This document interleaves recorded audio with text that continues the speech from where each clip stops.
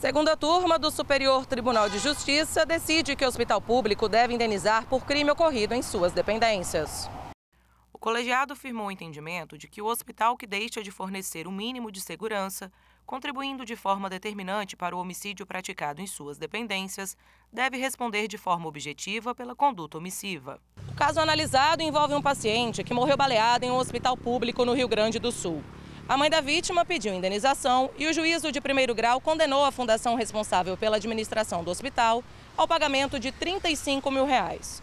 Mas o Tribunal de Justiça do Rio Grande do Sul cassou a sentença, ao entender que não houve contribuição do estabelecimento para a morte da vítima.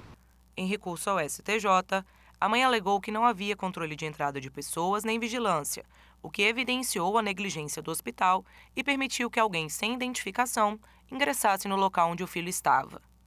Para o relator do caso, o ministro Og Fernandes, o Estado deve responder de forma objetiva quando for comprovado vício ou precariedade no serviço decorrente da falha no dever legal de agir.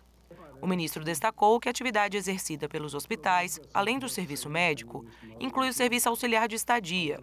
Por isso, no caso de hospital público, o Estado tem o dever de disponibilizar condições necessárias para o alcance dessa finalidade, inclusive serviço de segurança.